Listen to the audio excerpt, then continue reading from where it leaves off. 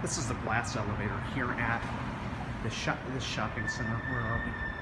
Uh, this is uh, Gold World Plaza in San Gabriel, California, and it's a Schindler 300A, and it's glass.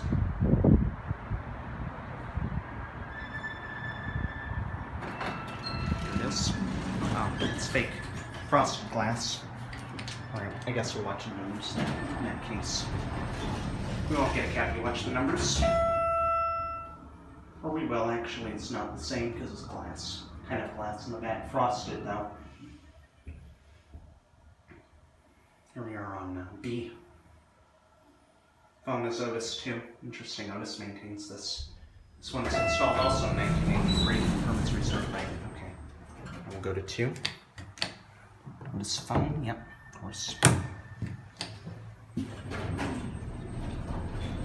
Numbers.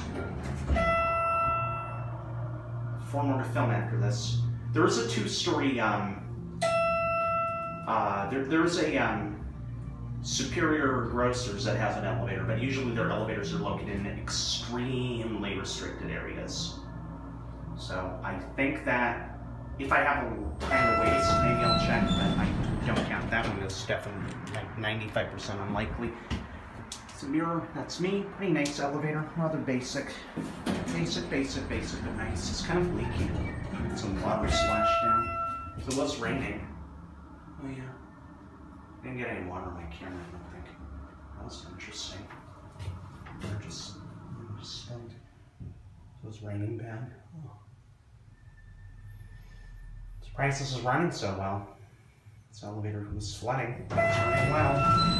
Door operator's a little rough from GAL and See at the shaft there. We'll watch the door close and we'll film last for the night. Pretty nice elevator, microprocessor controlled Schindler 300A, and that's it.